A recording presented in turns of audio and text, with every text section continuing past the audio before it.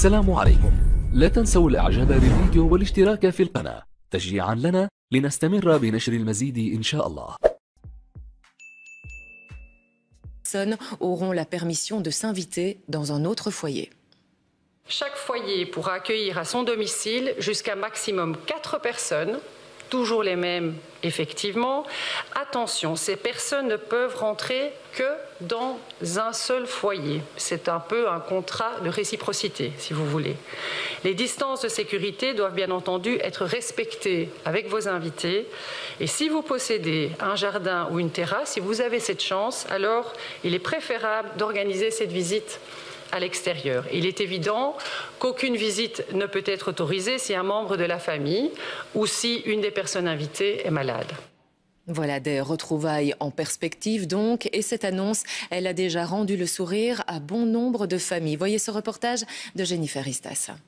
La rumeur courait, alors cette famille ne voulait pas rater la conférence de presse de cet après-midi. Première annonce, Victoire et Joséphine pourront enfin bientôt revoir leur grand-mère. La nouvelle a fait vite le tour de la famille. T'as vu les infos? Ah non, pas encore. Quoi de neuf? On va pouvoir se revoir. Oh, mais quel bonheur, Victoire, mais que je suis contente. On va pouvoir se revoir, c'est merveilleux. Depuis presque deux mois, les contacts avec les grands-parents se font à distance, mais le manque est toujours là. Ma soeur, quand j'ai pas un téléphone, elle l'appelle sur, sur le téléphone et euh, elle l'appelle chaque jour comme ça. C'est comme si on la voyait. C'est quand même quelqu'un de la famille. En plus, on va pouvoir la voir le jour de la fête des mères. Ça va être euh, bien pour le déconfinement et ça peut être une fête en, en soi. Une fête des mères qu'attend avec d'autant plus d'impatience cette grand-mère comblée par l'annonce surprise du CNS. C'est merveilleux. Ah, mais plan change, mais je vais faire des listes et je vais préparer. Je suis très très contente. C'est le bonheur. Le bonheur depuis le temps que j'attends ça. Vous imaginez, j'habite toute seule dans une fermette isolée. Je ne vois personne pour ainsi dire. Donc vous pensez bien que j'attendais avec impatience de les revoir. Pour Caroline, ne pas devoir attendre le 18 mai pour revoir sa famille proche était aussi une évidence. Les gens qui nous sont le plus proches, on sait à quel point ils ont respecté le confinement, on sait à quel point ils sont safe. Et, euh, donc, forcément, on a plutôt envie, en tout cas, on est plus rassuré de voir des gens qu'on connaît bien et euh, avec qui on a eu des contacts téléphoniques, euh, plutôt que des gens qu'on ne connaît pas et qu'on va revoir sur nos lieux de travail ou dans des magasins. Un premier pas qui soulage donc de nombreuses familles belges dont la fête des mères cette année aura à coup sûr un goût très particulier. Madame la Première ministre, bonsoir. Merci d'être avec nous. Il était grand temps de rendre de la chaleur humaine aux citoyens. Il était plus que temps, il était vraiment plus que temps. On a vraiment euh, d'abord euh, aussi ressenti nous-mêmes, mais eu euh, beaucoup de, de, lettres, de messages où on pouvait vraiment sentir que après huit semaines de confinement, il y a une détresse psychologique qui finit par s'installer. On n'est pas fait pour ne pas être près des gens qu'on qu aime. Si je peux juste rajouter quelque chose au reportage, parce que c'est fondamental pour Joséphine et Victoria qui vont revoir leur grand-mère, c'est de leur dire de bien respecter leur distance de sécurité. Ce n'est pas parce que la grand-mère vient à la maison pour une visite qu'elle doit y rester trop longtemps et qu'elles ne doivent pas respecter la distance de sécurité. Je sais qu'on préférait mille fois les prendre dans les bras et, euh, et se faire un gros câlin, mais ça n'est pas encore euh, permis. Et je dois le dire, pour les personnes âgées, les personnes qui sont fragiles, c'est fondamental. Mm -hmm. Quand on, ne, on garde ces distances, eh bien, on leur témoigne aussi de l'amour parce qu'on les protège. Par contre, pas de restriction dans les distances en kilomètres euh, des proches qui habitent Arlon peuvent aller rendre visite à leurs grands-parents à Ostende. Pas de souci. Ah, bien sûr, pas de souci. Là-dessus, peut quand même estimer qu'aller voir les gens qu'on aime, c'est un déplacement essentiel. Maintenant, vous avez précisé quatre personnes toujours les mêmes. Cela va donner quelques tiraillements tout de même, des choix délicats dans des familles importantes, recomposées, que sais-je. Bien sûr, bien sûr, et on est très conscient que choisir c'est renoncer. À partir du moment où vous euh, ouvrez la bulle familiale, vous êtes obligé bah, de tirer un trait, de, de, poser des choix. Et ce sont des choix qui seront extrêmement bien vécus, comme euh, dans le cas que vous nous euh, présentez. Et ce seront des choix quasi cornéliens pour d'autres familles. Certains décideront par exemple de ne pas faire ce choix. C'est aussi une liberté. Mais je pense que pour la plupart, cette bulle d'air, cette possibilité. Tous reprendre avec des mesures imposées. Regardez d'ailleurs ces mesures. C'est un client par 10 mètres carrés. Le shopping se fera en solitaire ou avec un enfant de moins de 18 ans. Cette sortie dans les commerces, elle se déroulera dans une ville ou commune proche de votre domicile ou de votre lieu de travail. Enfin, le port du masque dans les commerces est conseillé, mais il n'est pas obligatoire. Ces mesures, elles concernent donc les clients et elles sont suivies attentivement par les commerçants et les responsables de galeries aussi. C'est tout un monde qu'il faut réorganiser. Exemple au Docs Brussels avec Aline Delvoye. Les allées du centre commercial sont encore vides, mais le directeur fait déjà le tour des magasins. Certains se préparent depuis plusieurs jours et avaient anticipé les mesures annoncées aujourd'hui. Donc on a installé des systèmes pour euh, que les clients puissent désinfecter euh, les mains. On a prévu trois chemins différents, donc un pour le service, un pour la sortie et un pour la, la vente. Et alors il y aura des poubelles qui seront mises à disposition pour mettre les gants à usage unique pour les clients. Il ne pourra y avoir qu'un seul client par 10 mètres carrés. Cette enseigne a déjà fait les comptes. Nous, on a prévu, avec une marge de sécurité, de prévoir 15 personnes maximum euh, dans le magasin. Euh, et alors, on a prévu également 80% de nos effectifs pour, euh, pour démarrer. Les téléphones touchés par les clients seront désinfectés dans cet appareil. Limiter les risques, c'est aussi ce que prévoient de nombreux magasins, comme ce magasin de vêtements. C'est ce que nous explique le directeur du centre commercial. Chez Kiabi, ils ont mis en place une circulation au sein du magasin. Donc le client va être invité à suivre un certain sens de circulation. Ensuite, lorsqu'il essayera les vêtements, les vêtements vont ensuite être mis en réserve pendant 24 heures et seront défroissés avec un fer vapeur qui servira à désinfecter. Des mesures pas évidentes à mettre en œuvre, mais essentielles à la réussite du déconfinement. Il faudra aussi réguler les flux à l'extérieur des magasins, ce qui est plus facile à faire dans un centre commercial que dans une rue.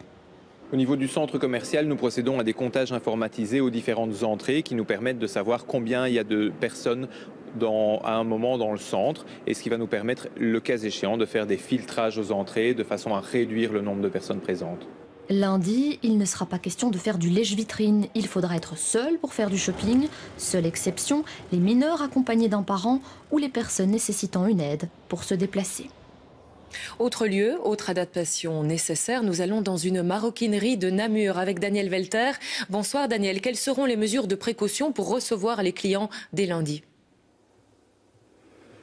Eh bien, il y en a plusieurs. Alors, rien n'est encore installé, mais tout est prêt. Il y aura du gel, il y aura des masques il y aura même des gants. À mes côtés, le patron pour en parler. Les gants, pour vous, c'est très important puisque nous sommes dans un magasin de sac à main. Complètement. C'était la première euh, disposition à prendre absolument. C'était qu'il y ait des gants. Le gel hydroalcoolique, j'avais quand même un peu peur que ça ne fasse des taches sur certains sacs. Donc la solution des gants était vite trouvée. Le masque, obligatoire pour vous ou seulement recommandé? Obligatoire pour mes clients. Après, euh, chacun fait ce qu'il veut une fois qu'il est dehors, mais dans le magasin, je préfère vraiment le masque pour me protéger, me protéger, protéger ma famille, mon personnel et tout ça. Je trouve que c'est une première chose. euh. Vous vous attendiez à autre chose du Conseil national de sécurité? Bah, je pense que les grandes lignes avaient été tracées déjà depuis quelques jours et on entendait de plus en plus euh, les choses se mettre en place. Donc euh, non, non, c'était nos attentes. Alors, vous dites, je suis rassuré financièrement, mais pas psychologiquement. Bah, financièrement, bah, évidemment, on va pouvoir réouvrir. On a quand même raté quelques périodes. Là, on va rater la fête des mères. Maintenant, psychologiquement, bah, effectivement, bah, prenez tous les ingrédients, vous les remettez tous ensemble et vous refaites, euh, vous relancez la soupe, quoi. Donc, euh, il y a quand même conseillé, pas obligatoire. Or, il l'est dans les transports en commun. Euh, des spécialistes en maladies infectieuses ont déjà crié à l'incohérence. Que leur répondez-vous? Bien que nous sommes euh, conseillés par euh, des groupes d'experts et à la fois euh, le Risk Management Group, comme on l'appelle, de, recommande le masque mais ne le rend pas obligatoire, et à la fois le RIES, donc le groupe d'experts, de virologues, qui nous conseille dans l'exit strategy, comme on l'appelle. Le masque n'est pas obligatoire dans les magasins, il est fortement recommandé. Ça veut dire que vous avez aussi la liberté de pouvoir le mettre si vous le souhaitez.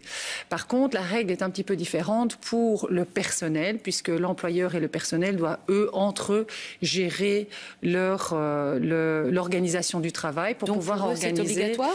en fonction de- du type de, de contact qu'ils vont avoir. Ils vont effectivement, et on, on- on le constate que beaucoup euh, décident de de, de le porter. Là, Moi, ça je reste un pense- peu flou alors. Je pense, euh, dans non, la non, pas du tout. En fait, ce qu'il faut savoir, c'est qu'il y a un guide qui est en préparation, Mhm. qui est quasi fini, mais qui n'est pas encore abouti, puisqu'on va être envoyé au Conseil national, bien sûr, Conseil national de sécurité, qui va en fait euh, être euh, disponible sur le site du SPF Économie, qui va là euh, donner une série de conseils. Il y a aussi un, euh, accord sectoriel avec Comeos, donc qui représente euh, la Les plupart des exactement, euh, pour organiser la relation employeur-employé, mais aussi Donc, si re- je résume Oui. et si j'ai bien compris, et pour tout le monde, pour les clients, vivement conseillé mais pas obligatoire. Pour les commerçants et leurs employés, là, vous prenez quand même plutôt de le porter, donc ça devient plutôt obligatoire. Si vous ne l'obligez pas, ce port du masque, pour tout le monde, ce n'est pas aussi parce que le gouvernement n'a pas les moyens euh, logistiques de fournir un masque gratuit à tout le monde? Non, pas du tout, parce que je pense pas qu'on peut, on peut faire beaucoup de procès au monde politique, mais il y a des procès qu'on ne peut pas faire au monde scientifique. Et quand le monde scientifique vous dit que ça n'est pas nécessaire euh, et que la, le, ce qu'ils estiment le plus juste et le plus approprié par rapport à une situation donnée, c'est la, la- la recommandation forte du masque, qui suis-je moi pour ne pas les suivre? Il faut bien comprendre que le masque, ça vient en dernier, si vous voulez, dans les phases de recommandation. Et il faut bien les rappeler.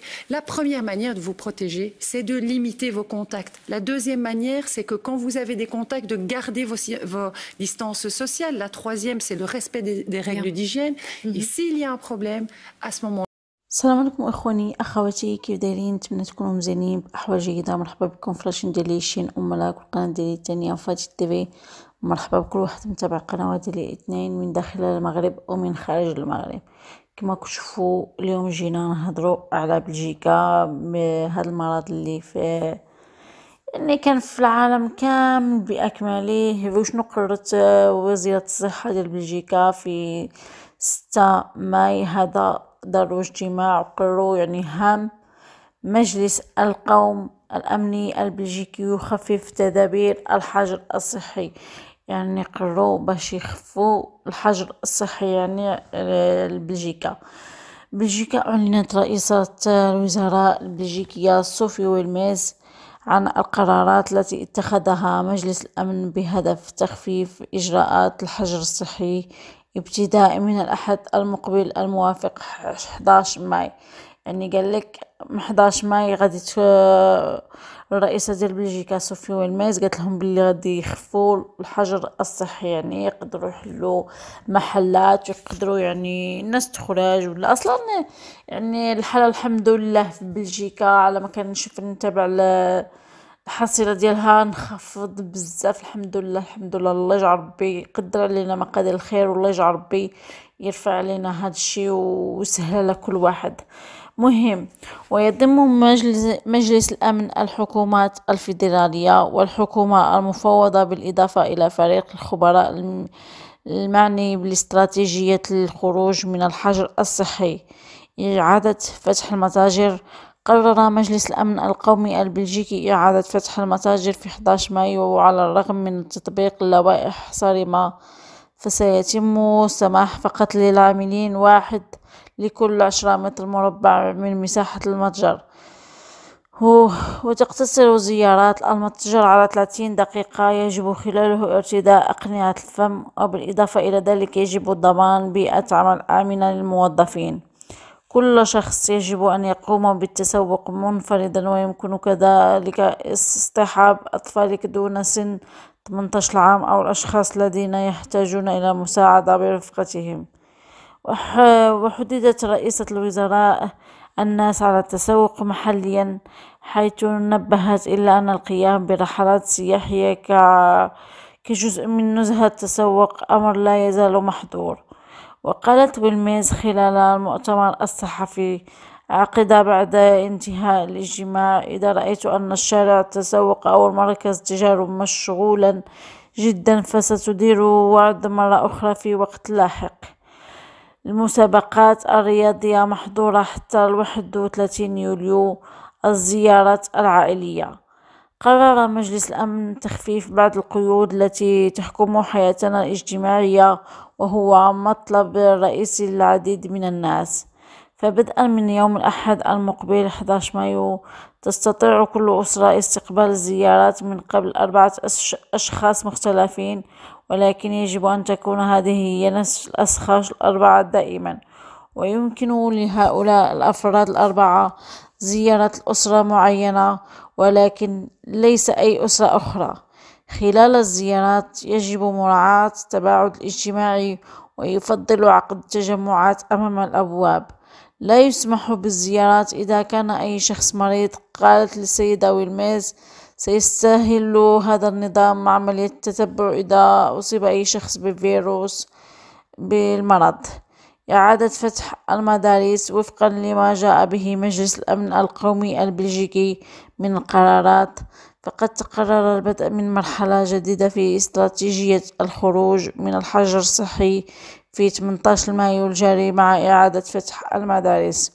وأخبرت رئيسة الوزراء الصحفيين أن مجلس الأمن والخبراء يبحثون عملية التخفيف في الأسواق والمتاحف والمكتبات وحدائق الحيوانات. وأضافت آه، سنفحص ما إذا كان يمكن إعادة فتح محلات مصففي الشعر والصالونات التجميل وما إذا كان يمكن لعدد أكبر من الناس حضور الجنازات وحفلات الزفاف. وأشارت ويلميز إلا أنه سيتم النظر في الرحلات اليومية والزيارات إلى دور المسنين في وقت لاحق لأي ليس ليس في هذه المرحلة. رئيسة وزراء بلجيكا تشرح كيفية الخروج التدريجي من الحجر الصحي. أجرت صحيفة لوسوارا البلجيكية الناطقة بالفرنسية مقابلة مع صوفي ويلميز لتشرح الأخيرة كيفية الخروج التدريجي من الحجر الصحي والذي قالت عنه رئيسة الوزراء البلجيكية أن الحكومة تدرس الوضع خطوة بخطوة وبعناية فائقة. وقد يستغرق الوضع أسابيع أو حتى أشهر قادمة مضيفة أن المهمة شاقة ويجب إلا أن ننسى أننا نعيش في وضع جديد تماما. وبحسب رئيسة الوزراء البلجيكية إن المسؤولية الخروج من الحجر الصحي هي أكثر صعوبة من فرضه إنه أمر متناقض تماما.